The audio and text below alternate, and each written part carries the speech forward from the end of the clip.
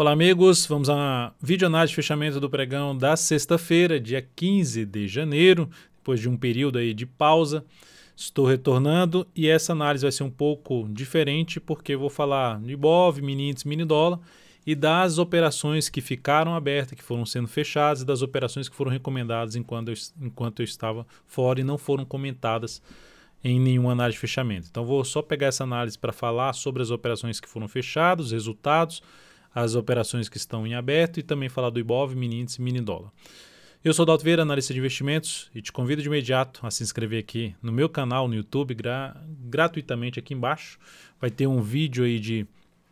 Um vídeo não, um botão para você clicar em se inscrever e um sino das notificações logo ao lado para você aproveitar ao máximo todo o conteúdo de aprendizado e a parte aqui de análise. Do meu lado, todo o conteúdo de análise, a programação de análise do canal. Começando então pelo Ibovespa, tivemos um dia na sexta-feira de queda, o Ibov está ainda dentro de uma tendência de alta, marcado aqui por esses movimentos, topos e fundos ascendentes. Então temos aqui essa movimentação para anular completamente a tendência de alta de curto prazo, precisa perder essa região, fazer isso aqui, ou, logicamente, se o Ibov cair, subir, gerar um topo abaixo desse aqui, também seria um sinal de mudança de tendência, ficando a tendência indefinida. Mas nesse momento, o suporte mais relevante para o Bovespa, na faixa ali dos 119,400, e abaixo disso a mínima do fundo aqui, que é 116,756. Perdeu esse patamar, anula a tendência de alta de curto prazo. Vou falar mais a respeito do Ibovespa no gráfico semanal, mensal, no radar da semana, que vai ser logo após essa videoanálise aqui, nessa análise de fechamento. Eu vou fazer o radar da semana. Por isso eu não vou entrar muito em detalhe do Ibovespa aqui agora, apenas a questão do gráfico diário. Gerar sinal de alta que o Ibovespa precisa fazer isso aqui, ó, romper a máxima do pregão de sexta, que foi um pregão relevante para baixo, com queda de 2,54%. Partindo para o mini índice e mini dólar, começando pelo mini índice, Lembre-se de deixar seu like, seu joinha, se essa análise for útil para você de alguma forma, em termos de aprendizado, em termos de leitura do mercado. Agradeço demais por prestigiar aqui meu trabalho. Então temos um mini índice dentro de um movimento de queda, apontando para testar suportes mais abaixo, aqui no, seria na faixa do 119,580 no mini índice. Gráfico de 60 minutos dentro de uma tendência de baixa, ou seja, caiu, subiu, caiu novamente, ainda segue com viés mais baixista. Basicamente, dando aqui um zoom menos no mini índice, dá para perceber essa região aqui como uma região relevante, na minha opinião. Tem ali um topo anterior, tem esse fundo aqui, tem essa região que ficou tentando funcionar como suporte, igual funcionou aqui, mas não reagiu suficientemente e veio para baixo. Então fica a expectativa de caminhar por um próximo nível de preço relevante, que seria um pouco mais abaixo. Tem a região do 119,580, que eu já mencionei do diário, e abaixo disso, o ponto mais relevante fica lá na faixa do 119,060. Então, enquanto estiver dentro, sem voltar principalmente para cima de um patamar de 120, 930, essa região aqui na faixa de 120, 985, então enquanto não voltar para cima dessa faixa aqui, desde os 930 até no máximo ali um patamar de 121, 125, ou seja, uma região em torno de 200 pontos, enquanto não voltar para cima dessa região, olharia um pouquinho mais para a ponta vendedora. Gráfico de 10 minutos, por exemplo, ou seja, tentou subir aqui gerou topo descendente ali na média móvel três períodos, ou ficou aqui de forma lateral e fez pivô de baixa, foco em buscar operação de venda. Caso venha realmente a ter um movimento mais relevante para cima, só pegar o gráfico de 60 minutos, gráfico de 60 minutos, botar no gráfico agora de 10 minutos, se tiver algum um movimento mais relevante aqui para cima, aí sim ficaria mais interessado na questão da compra lá, já rompendo a barreira dos 930, fundo ascendente acima da média, interessaria mais por operação na ponta compradora. Mas cenário um pouco mais alinhado para a ponta vendedora no primeiro momento, topo descendente no gráfico de 10 ou 5 minutos, ou pivô de baixo, foco mais em venda. E fundo ascendente no gráfico de 10 ou 5 minutos para cima ali de um patamar de 860 para aquela região dos 930, primeiro no, furar os 930, se abrir subindo para depois gerar ali, furar que eu digo, é, oscila aqui acima e depois gera fundo ascendente acima dessa região aqui. Seria o cenário mais positivo para buscar essa compra. Seguindo agora para o dólar, dólar terminou o pregão na sexta com alta de 1,84%, sinalizando um fundo no gráfico diário, mas para mim ainda abaixo de um patamar importante, que é isso aqui. Então, olharia com carinho para a questão da, de possibilidade de compra em cima do dólar mais para cima da região dos 305, preferencialmente para cima da região de 305, 303, 305. E olhando para o G60, seria isso aqui, ó. Basicamente temos dois pontos importantes, um de suporte e outro de resistência. Abriu subindo, está dentro de um movimento de alta, está dentro de uma tendênciazinha leve de alta. Deixa eu só jogar esse gráfico um pouco para cima que está comendo aqui. Só, pronto. Vindo aqui, ó, está dentro de uma tendência de alta. Você abre subindo, fica mais para se buscar a operação de compra. Melhor ainda se ela acontecer através de fundo no gráfico de 10 ou de 5 minutos para cima de um patamar ali de 305 e melhor ainda se for já para cima dos 314,5, que é a zona de resistência. Tentou subir de maneira fraca aqui, bateu nesse 314,5, gerou sinal de topo, possibilidade de trabalhar mais na venda, arriscando um pouco mais, seria uma contratendência, mas na expectativa do mercado ficar indefinido entre essa região dos 314,5 até um patamar aqui que seria por volta dos 278,5. E aí, em termos de operação mais de congestão, chegou nesse nível aqui, abriu caindo, chegou nesse nível de preço aqui, girou sinal de alta no fundo, de um fundo no G10 ou no G5, principalmente G5, tentaria pegar uma compra para buscar um movimento para esse patamar aqui, sendo mais arrojado. Agora, o cenário mais positivo para operar a favor da tendência é abre subindo, gera sinalização de fundo ascendente acima 305, 314,5, foco em compra. Usou essa região como patamar de suporte, foco em buscar operação de compra. Abriu caindo e passou a gerar topo descendente no gráfico de 10 minutos para baixo do patamar de 278,5 seria o melhor cenário. Vou jogar até no gráfico de 5 minutos. Dá para fazer antes? Dá. Só que ficar atento na questão do suporte. Topo descendente para baixo dessa região aqui, principalmente para baixo desse nível aqui. Ó para baixo de um patamar de 288,5, caberia a possibilidade de trabalhar na venda. Só ficar atento na questão 278,5, que eu considero um patamar importante que abre a chance de entrar pressão vendedora nesse patamar. E para compra, como já disse, abre subindo, fundo ascendente acima dessa região aqui, mais para buscar a operação na ponta compradora.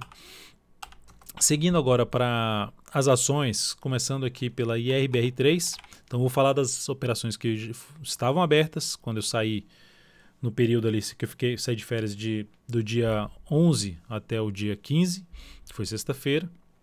Pelo menos que eu não produzi nenhum tipo, nenhuma videoanálise. Então tivemos algumas operações que estavam em aberto. Primeiramente, a RBR3 estava em aberto, gráfico diário. O stop dela tinha sido reposicionado para baixo da mínima desse candle e foi acionado aqui. Então, a operação que a gente tinha feito a entrada aqui e saímos com stop parcial aqui. Essa operação da IRBR3 proporcionou aqui uma perda de 1,77%, isso representou no capital total uma redução de 0,16%. E como é que está a tendência dessa ação? Basicamente indefiniu, ou seja, vinha numa tendência de alta, ou seja, retomou aqui a tendência de alta. Quando vem aqui, gera aqui, ah, pivô de baixo, mas aí volta aqui para cima, aí volta aqui para baixo, ou seja, fica indefinido, movimento mais lateral. Não vejo oportunidade de compra nesse momento, pelo que aconteceu no gráfico semanal. Não significa que não vá subir, não, não significa dizer que o ativo não vá subir, apenas não gera entrada dentro da, da minha forma de trabalhar. Outra operação que foi encerrada. Tivemos uma sequência aí de, de stop. Né? Primeiramente, B Bradesco, BBDC4. Foi encerrada a posição também comprada em BBDC4. Nesse caso aqui de BBDC4, a gente tinha executado uma compra em cima do papel e dessa compra que foi executada uma operação mais de rompimento, o stop foi reposicionado para baixo da mínima desse candle aqui e ele foi acionado na sequência, inclusive na abertura do pregão. Essa operação de Bradesco proporcionou aqui uma perda de 2,8%, capital total a redução foi de 0,41%. Então mais uma operação que a gente saiu perdendo de swing trade. Próximo, só para mencionar em relação ao Bradesco, ela tinha aqui a tendência indefinida quando fez isso aqui. Quando ela rompe tudo aqui para cima, ela retoma a tendência de alta. Só que gera aqui esse movimento para baixo, em vez de ter mantido aqui, gerado um movimento mais para cima, ela volta muito para baixo, gera um sinal aqui de fundo de novo, mas já é um fundo abaixo desse nível de topo, que é um risco um pouco maior, e apontando um pouquinho mais para baixo. Ou seja, basicamente a tendência ficou indefinida, um movimento mais lateral do preço. Não vejo também alternativa de entrada nesse momento. A outra ação, Ipera, IP3 ativo que gerou um belo rompimento aqui, ó. Gerou um belo rompimento e fomos reposicionando aí o stop dessa posição. Então ela foi subindo, subindo, subindo, a gente posicionou o stop dessa operação. A operação, na realidade, desculpa, tá? Estava olhando o gráfico, mas é porque o stop dela era um stop de volatilidade, como o candle tinha sido grande, o stop ficou por aqui. E essa operação foi encerrada já nesse dia aqui, ó, já nesse pregão. Então, só passando aqui os dados deste encerramento, foi uma operação que gerou ali uma perda de 3,27%. Isso representou uma perda de 0,5%, que é a perda máxima que a gente costuma trabalhar na questão de quando você tem uma operação que gera o resultado ali de completo do stop, ou seja, estabeleceu um stop e não foi reposicionado, não foi um stop parcial, simplesmente foi lá e acionou o stop. Eu costumo trabalhar com a perda máxima por operação do capital total, ou seja, se tiver colocado 100 mil reais para entrar nas operações de swing trade, não 100 mil em única operação, mas alocando do jeito que é comentado, como por exemplo aqui 15%, então significa dizer que você teria colocado aqui 15 mil reais nessa operação e desses 15 mil você teria tido uma perda de 3,27% desse capital e isso representaria 0,5% em cima desses 100 mil reais. Tá? Então é isso que significa dizer aqui quando eu falo, ó, perda da, da operação é, ou seja, em cima dos 15 mil reais você perdeu 3,27 e essa perda em cima dos 100 mil significa 0,5%. Seguindo agora para falar de o próximo ativo aqui ser comentado é deixa eu só ver qual foi a lista que eu coloquei aqui. BPAC 11 BPAC 11 BPAC 11 então tivemos aqui a operação da BPAC 11 também sendo encerrada. Foi uma operação que foi feita aqui nesse candle, ou seja, nesse pregão, e já foi encerrado no pregão seguinte. Então vou passar aqui os dados de encerramento dessa operação, que também já indefiniu sua tendência, ou seja, vinha na tendência de alta, gerou um fundo, volta para baixo, tenta retomar a tendência, mas já volta aqui para baixo, basicamente movimento mais lateral do preço, semanal, apontando para ter uma correção um pouquinho maior em cima justamente dessa resistência aqui importante, não conseguiu se manter acima desse patamar. Dados de encerramento da BPAC 11. Encerramento dela com perda de 3,38%, 3,38% a perda daqui nesse pregão. E essa operação que foi encerrada no dia 11 de janeiro, proporcionando também uma perda completa, que era lá no ponto inicial de stop, 0,5% a perda da BPAC 11. Outro ativo aqui em termos de encerramento, teve um encerramento no dia 12 de janeiro. Pegando primeiramente a Cirela, então. Na ordem aqui, eu vou colocar a Cirela. Ciri 3 foi também encerrada essa posição. Gerou aqui. Primeiro, sexta-feira, né? Já gerou um, um movimento forte para baixo. Na realidade, a entrada dela foi aqui, tá? A entrada dela foi aqui, só que o stop foi baseado em cima da volatilidade, não ficou abaixo da mínima do candle anterior, abaixo basicamente da média, abaixo de uns fundos anteriores, ou seja, de nível, porque eu coloco geralmente o stop em cima, abaixo de um nível de suporte. Esse suporte pode ser uma média, pode ser um fundo anterior, pode ser um topo anterior, enfim, abaixo de no mínimo um suporte. E, logicamente, de acordo com a volatilidade do ativo.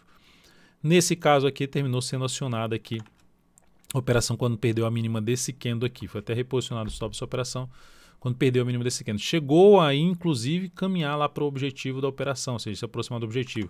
Quem estava posicionado e ainda seguiu posicionado, stop teria sido acionado aqui na perda da mínima desse candle, isto na sexta-feira. Dados de encerramento da Série 3. Encerramento dela também aqui de, da Série 3 foi de pegando aqui os dados, 4,11%, menos 0,43% o encerramento desse papel no dia 12 de janeiro. Teve também encerramento no dia 13, que eu vou mencionar aqui agora. Começando aqui falando da, da primeiramente de Eneve 3, encerramento da posição comprada de Eneve 3, compra executada dessa ação, rompimento aqui para cima, compra nesse pregão, a ação terminou ficando um pouco mais de lado nesse dia, girou mais outro candle forte para cima e eu, eu reposicionei o objetivo dessa operação tentando pegar a melhor relação com retorno. E encerramos essa posição aqui no pregão seguinte. Dia 13 que foi encerrado, colocando aqui qual foi o dia certinho, foi aqui, ó, nesse pregão. Esse dia que foi encerrada a posição comprada na NEV3, a operação de swing trade. Essa gerou sucesso. Essa operação da NEV3 proporcionou aqui, então, um ganho de 7,53%, indo naquela linha, né, se fosse em cima de 100 mil reais, você teria ali posicionado 13 mil reais nessa operação, ganhou 7,53% em cima desses 13 mil reais, isso representou sobre o capital total 1% de evolução. Aquela ideia de tentar ganhar mais quando dá certo, não necessariamente que você vai ter só operações, é, uma taxa de acerto às vezes vai ser inferior a 50%, em alguns momentos vai ser superior a 50%, mas a ideia é que você tenha uma relação risco-retorno favorável, que lá no final das contas a conta vai, o capital vai só evoluindo com a, a curva do seu capital, né? vai só evoluindo. Então tivemos aqui um retorno de 1% em cima dessa operação da Enev 3. que mais? Tivemos outros ativos aqui que eu tenho anotado. Dia 13 tivemos o encerramento de uma operação da BRDT3. Então, a operação da BRDT3, que tinha feito esse belo rompimento aqui, fez um bom fechamento. Entramos aqui no final do pregão. Ela tinha até dado uma puxada para cima, mas terminou não evoluindo. Fomos evoluindo aí a questão do, do stop dessa operação. Acionou um stop ali parcial no dia 13, que foi basicamente aqui nesse pregão, essa perda de mínima aqui. Encerramento da posição quando ela perdeu essa mínima. Então, essa operação também encerrou com perda. Essa perda da BRDT3 foi de, foi de 1,68%, representando uma redução de 0,33% sobre o capital total. Quem mais? Tivemos mais operações aqui, tivemos recomendações no decorrer da semana também. Falando primeiramente aqui de encerramento das posições, então vamos falar aqui de GGBR4, que fez esse movimento forte para cima, ou seja, saiu dessa dessa lateralização, rompeu para cima, gerou bons candles para cima, gera uma correção, testa média, recomendação de compra aqui na superação da máxima desse candle anterior de um fundo ascendente. Nem precisa dizer que ela já acionou stop no pregão seguinte, no pregão de sexta-feira. Já anulou a formação do, do fundo ascendente e vai aumentando a probabilidade de mudar a sua tendência de curto prazo. Isso tende a acontecer na, no retorno do preço para baixo dessa região já dá um aspecto, principalmente se perder a mínima já dessa semana, que é 25,71, vai aumentar um pouco mais a chance de se ter um movimento aqui para baixo, podendo buscar a média móvel exponencial de 13 períodos. Essa operação de Gerdau proporcionou